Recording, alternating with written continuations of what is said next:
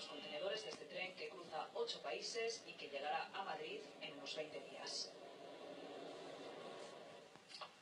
20 bailarines el siglo XX. Ese es el espectáculo que ha acogido el Museo Reina Sofía de Madrid, un proyecto dirigido por el coreógrafo Boris Amal que ya ha pasado por el Tate Museum